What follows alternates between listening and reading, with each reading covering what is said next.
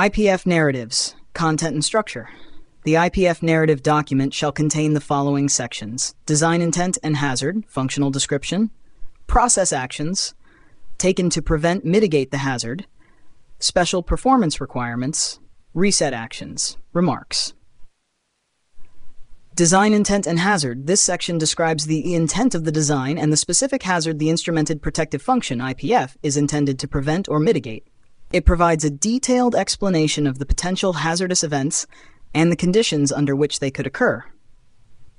This section should include description of the specific process unit and equipment involved, explanation of the hazardous event, including cause and consequence, identification of the design intent to prevent or mitigate the hazard.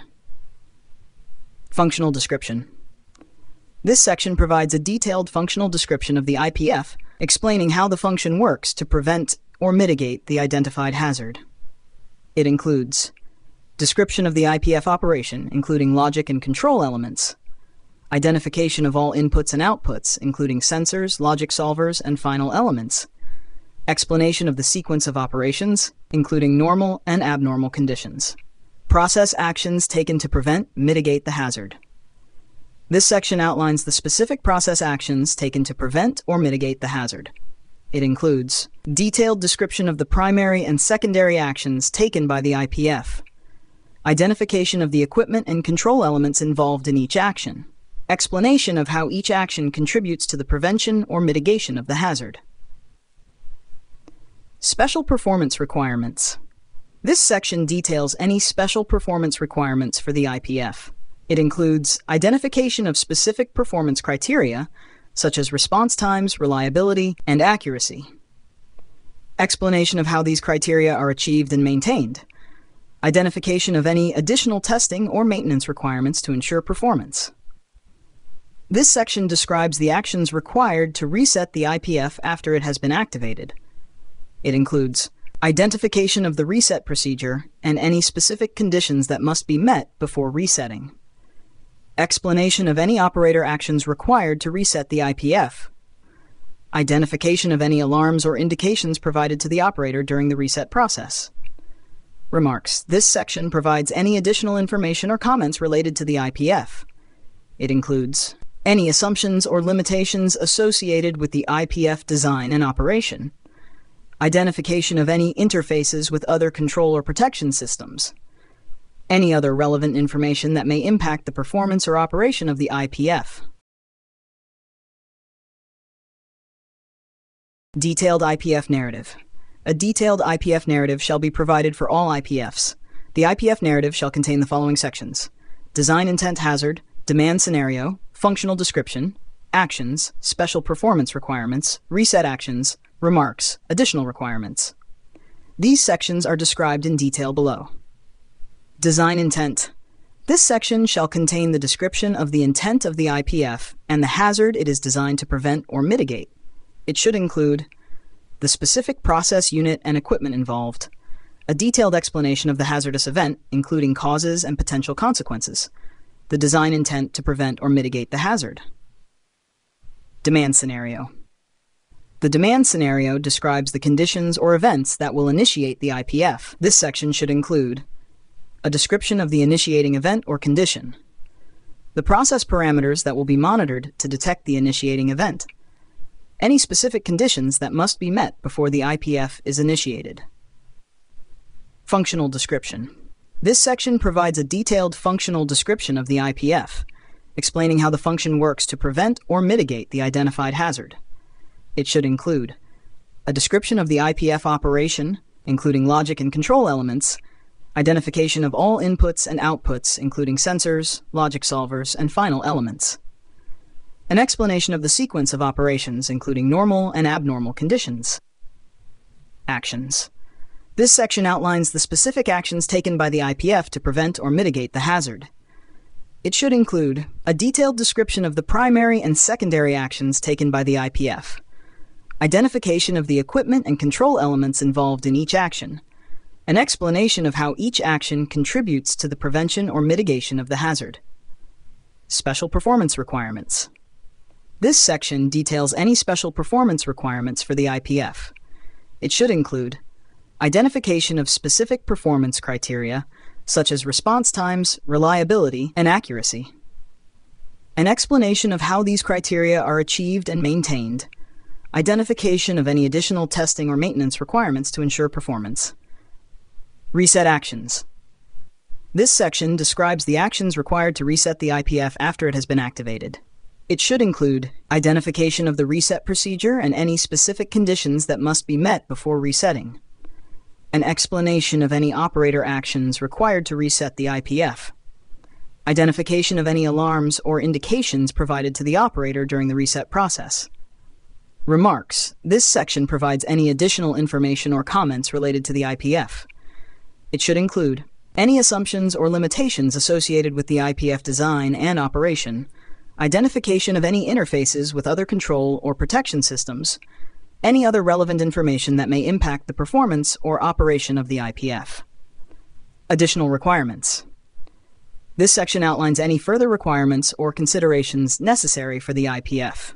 It should include compliance with relevant industry standards and regulations, documentation and reporting requirements, training and competency requirements for personnel involved in the operation and maintenance of the IPF, any specific requirements for integration with existing systems or infrastructure, provisions for periodic review and update of the IPF documentation to ensure ongoing relevance and effectiveness.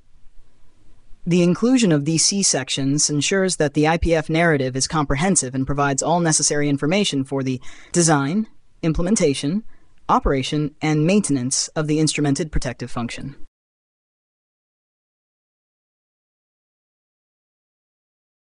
Cause and effect diagrams.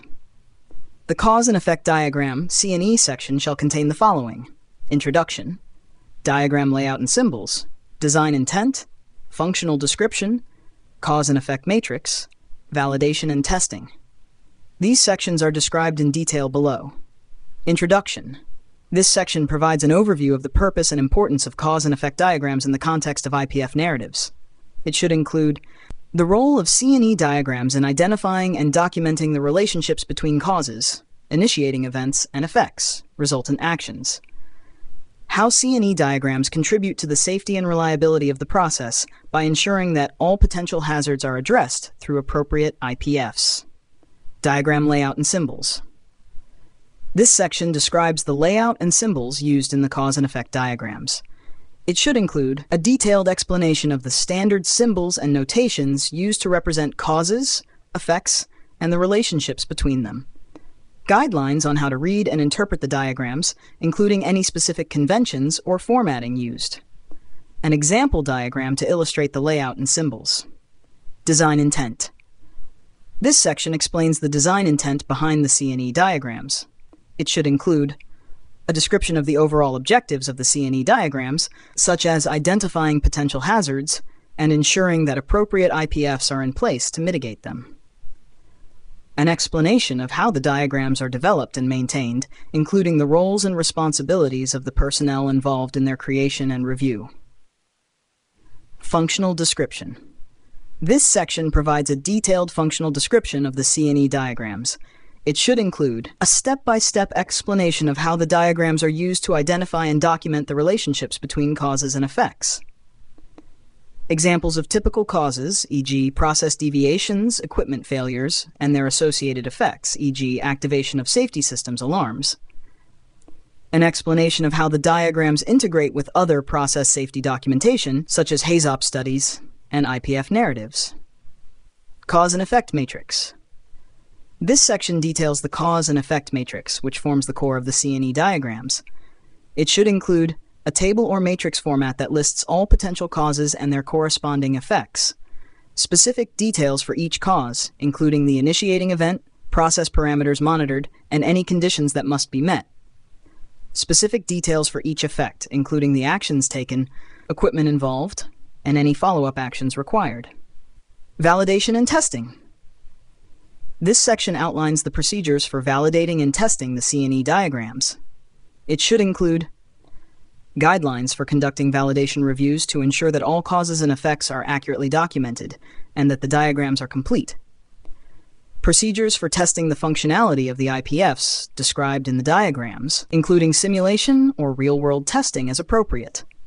requirements for periodic review and updates to the diagrams to ensure ongoing accuracy and relevance. The inclusion of these sections ensures that the cause and effect diagrams are comprehensive and provide all necessary information for the design, implementation, operation, and maintenance of the instrumented protective function.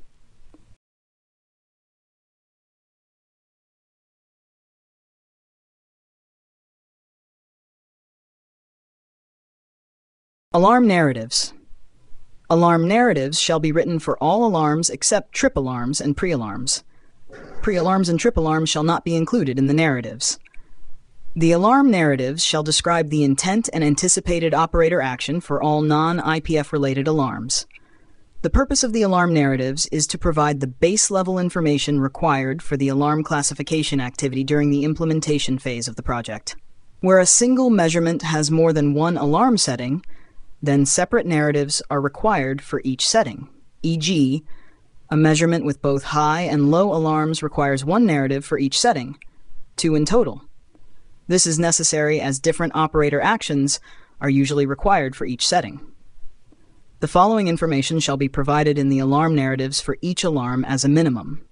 Purpose of alarm describe the hazard or operating problem that the alarm is intended to warn of and what will cause the alarm to be activated, not simply high temperature in tank. Consequence of no action. Describe what is expected to happen if the alarm sounds and the operator takes no action or too late action in terms of safety, loss, and environmental impact, e.g., potential off-spec product due to degradation in tank. Type of activity. Describe the type of activity that should result from the alarm sounding, e.g., take corrective operational action, call maintenance, etc. A standard list of activity types shall be developed during the implementation phase of the project. Most likely required operator action. Describe what the operator most likely should do, 80% of the case, upon hearing the alarm. In some instances, the operator will be unable to do anything upon hearing an alarm. In these instances, the word nothing should be entered. In this case, the alarm should be an operational message only. Less likely required operator action. Describe what the operator less likely should do, 20% of the case, upon hearing the alarm. An example alarm narrative and format is given in Appendix 8. Examples of alarm narratives, format. Timing of alarm narratives. The completion of the various sections that comprise the alarm narratives shall be in accordance with the table below. Item, timing, purpose of alarm, consequence no action, DEF, Type of activity, most likely required operator action, less likely required operator action, IMPL, DEF definition phase, IMPL implementation phase. Additional documentation for interconnected control systems. This section describes the mandatory requirements included in, but additional to, the standard process control and IPF narratives for systems that comprise multiple interconnected subsystems, i.e., where control and safeguarding functionality is carried out in subsystems additional to the plant DCS and IPS. Such applications are typically found, for example, in rotating equipment, where one integrated control application is typically distributed across the following interconnected subsystems turbine governor, e.g., Speedtronic, Woodward, etc., compressor control systems, e.g., CCC, Triconex, etc special vendor PLC for variable speed drive motor generator, auxiliary instrumentation, e.g., Bently Nevada, Brüel & Kjær, etc. Plant DCS, plant IPS, local panel, generator control panel, etc. Each subsystem shall be provided with separate vendor documentation that describes its own internals, as well as interfaces to the external world, in accordance with the relevant project documentation requirements. In addition, each integrated application that uses such interconnected subsystems shall be provided with additional documentation that ties together all the subsystem interconnections and describes them from an application perspective and in detail. The overall system architecture, the overall integrated functionality. Per application, this overview documentation shall be comprised of a functionality overview narrative and a functionality overview diagram. Both documents shall present the information in a manner useful to the end user, and will most likely be different from and in addition to detailed project documents. The system integrator, normally the developer of the unit process control narrative, shall develop the functionality overview narrative. The overview narrative development shall not be delegated to a subsystem vendor. This functionality overview narrative shall form part of the process unit control narrative unless document size makes this impractical. A common format shall be used for functional overview diagrams throughout the project. The overview documentation shall be initially developed during the definition phase where possible, and shall be continuously updated as project engineering progresses, as detailed information becomes available from the various vendors, then after FAT and SAT of the systems, and eventually plant commissioning and startup. Functionality Overview Narrative The objective of a functionality overview narrative is to describe how the various subsystems are integrated into an application. It shall be used in conjunction with the functionality overview diagram. The functionality overview narrative shall provide a detailed overview of the application hardware and describe the overall application control and safeguarding functionality in detail. The functionality overview narrative shall describe all signal flows during each phase of operation, i.e. startup sequencing, normal operation, normal shutdown, and trip, and shall provide a top-down approach to the descriptions.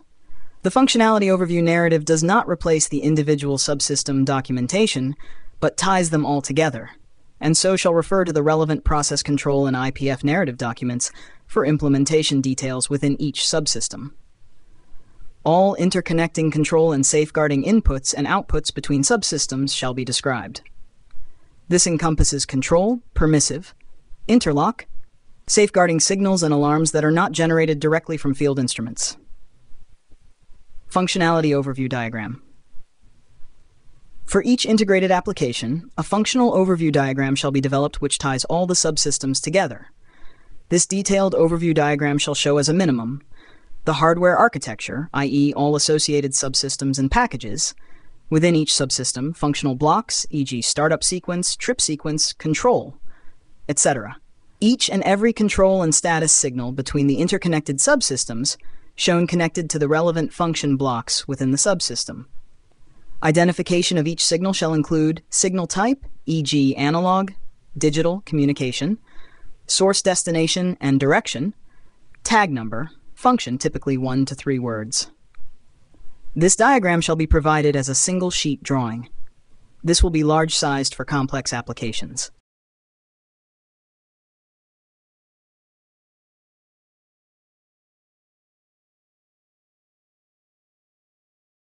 Detailed IPF Narratives The detailed IPF narrative shall describe the functionality and operational aspects of each individual protective function, whether standalone or part of a larger UZ block. Any specific individual implementation requirements, including those resulting from the IPF SIL assessment, classification, shall be incorporated in Section 4 of the IPF requirement specification. The cause and effect diagram shall also be referenced. All IPF narratives shall be completed before plant startup. The detailed narrative shall include at least the following information. Objective, functional description, operational and implementation aspects, detailed logic, sequence narrative, and diagrams. Objective. This explains against which hazards the IPF protects. It shall include a description of the overall and individual safeguarding objectives, design intent, i.e., it shall describe what is being safeguarded and why, giving the reasons. It is mandatory that each function be individually identified along with its design intent. This is singularly important for UZ blocks that contain different IPFs acting on the same final elements, as each IPF has different reasons for acting on the final elements or groups of final elements. Apart from capturing important IPF design information during the design stage, the data documented in the IPF narrative shall also serve as a precursor to the IPF classification reviews. It is intended that this data be directly copied from the IPF narrative into the IPF classification database, where it will serve as a starting point for the IPF classification's reviews. Functional description. This gives the method used to achieve the objectives of the initiating elements and actions taken by the IPF. The safeguarding logic overview and cause and effect diagrams should be referenced to illustrate the functionality, together with the relevant PEFSs. Where multiple vendor subsystems are used, Section 4 of the IPF requirement specification shall include a description of how and where this safeguarding action is implemented. The following information shall be provided in the IPF narrative for each IPF as a minimum. A simple backflow protection IPF has been used as an example. Design intent. Identify the hazard to be protected against, e.g., prevent loss of containment due to overpressuring of the low pressure separator. Consequences of hazard. Describe what happens if the hazard occurs, e.g., rupture of low pressure separator vessel due to backflow from high pressure separator, explosion, etc. The following are expected to be included here. The likely, realistic, worst case ultimate consequence of the hazard and its extent, e.g., whether there will be a gentle fire, an intense fire, or jet fire, an explosion, etc., whether just minor fire damage results, or if everything burns down and the shed collapses, etc., the effect on personnel if they are around, and the likely sequence of events leading to the consequence. What kind of places the leaks can occur, flanges, broken line, etc. Where the material will leak to, drop to ground and spreads, or vaporizes, catches fire before hitting the ground, etc., etc. The consequences need to be considered from three standpoints. Refer to EP 32 and 820.10.10, section 3.2.61, personnel safety, production and equipment loss, and impact on environment and reputation. Demand scenario. Describe the conditions that will cause the hazard to occur, and that will demand the IPF action, e.g., failure of flow controller or pump. Part of the objective of describing the demand scenario is for the IPF classification team during EPC to be able to judge the likely frequency of this IPF being triggered. The demand scenario should provide the background information to be able to judge this. It is important to indicate here which, if any, controller failure could possibly lead to this. Detection of hazard initiators. Describe how the hazard is detected, e.g., 10 FZA001 feed flow to high pressure separator and 10 PDZA001 differential pressure across flow control station. Success criteria. For functions with multiple initiating elements, describe what constitutes success of detecting the hazard. This is intended for multiple initiators measuring the same hazard but in different manners, e.g., backflow detected by FZA-LL and PDZA-LL, Note, initiators can only be grouped together into one IPF if they detect the same hazard and back each other up. Final elements. Hazard mitigation actions. Describe the process action required to mitigate the hazard and the final elements used to achieve this, e.g., isolate the high pressure separator from the low pressure separator. Final elements. List the final elements used to mitigate the hazard, e.g., close isolation valve UZV101 and close high-pressure separator feed valve 10FCV001. Success criteria. For functions with multiple final elements, describe what constitutes success of the mitigation actions, e.g. at least one valve closed. For multiple final elements, the success criterion must be stated, i.e., how many of the final elements must work correctly for the hazard to be successfully mitigated, averted. Must all valves work correctly to mitigate the hazard, or will only one or two suffice? Describe here how many and which ones have to work correctly, and identify which may provide only partial mitigation, and identify the extent of mitigation provided if not all final elements mitigate to the same extent. Primary actions, actions that mitigate the hazard.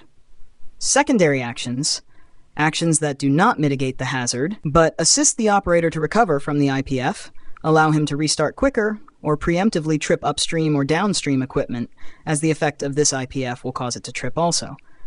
Further examples of this are shown in Appendix 7, example of an IPF narrative.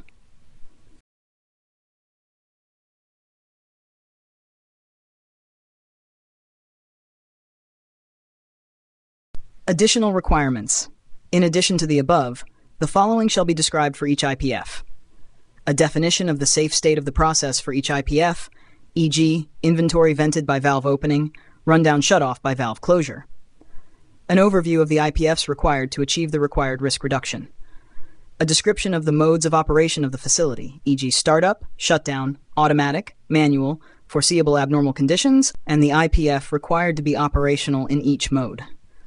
Some IPFs may be mode specific and not apply in all modes. This should be specified. The functional relationship between the inputs and outputs, This should include logical, mathematical, and permissive relationships, as well as requirement for manual shutdown and manual reset functions.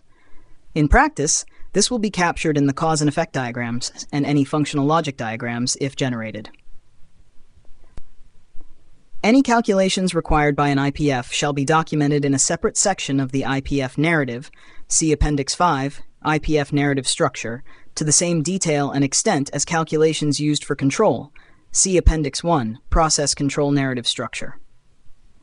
The process safety time for process outputs and other special requirements where applicable, e.g. TSO, stroking time. The response time requirements to bring the process to the safe state. Requirements for manual reset, maintenance override, operational override, startup override, and manual shutdown per function. Note that SIL 2 functions also require a MOS. The failure modes of the IPF, e.g. thermocouple burnout, and the associated desired responses. Maintenance override grouping. This can be conveniently shown on the cause and effect matrix by placing the initiators in group sequence order and highlighting each group, e.g. by a border or other means. Special alarm features, e.g. realarming. Alarm and trip settings shall not be included in the IPF narrative but shall be recorded in the INtools database. Additional requirements. Complex UZ blocks. The following are additional requirements for the structure and descriptions within the narrative of more complex UZ blocks. IPFs shall be described in the top-down order of the safeguarding logic overview diagram. HZ and unit trip actions, final elements, shall be segregated into isolation from other units, compartmentalization within the unit, shut off heat sources, stop rotating equipment, etc., as appropriate to each case. For pump protection IPFs, the IPFs for all pumps in the same service, i.e., AB pumps, shall be combined into one UZ block. This simplifies associated controller initialization and IPF classification. Equipment shall be referred to in all instances by number and service description, when describing an action, i.e. what a final element does, first describe the effect on the process and then how this is achieved, e.g. stop reflux flow by closing 12FC12T3 or FC manual output 10%, etc. Operational and implementation aspects. This section relates to any specific implementation details and operational aspects of the IPF scheme. It includes any IPF-related calculations. It shall be prepared during the definition phase to the extent that data is available. Remaining implementation details will be completed during the implementation phase. Attention needs to be paid in splitting implementation descriptions between IPF requirements specification sections 1 and 4. In addition, for IPF-related timers, this section shall contain the reason for the timer, whether it should be visible to and adjustable by the operator, and the rationale behind the setting. The actual timer setting shall reside within the intools database. Detailed logic, sequence narrative, and diagrams. This section of the narrative shall describe any complex logic or sequence functionality system implemented in the IPS. It shall be prepared during the definition phase to the extent that data is available. Remaining implementation details will be completed during the implementation phase. A complex scheme functionality is one that cannot be discerned from the PEFs or note on the cause and effects diagrams. Functional logic diagrams, FLD, shall be produced to clearly specify any such special logic. For IPF sequences, sequence function charts and pseudo-English code shall be used as defined in section 4.4.4.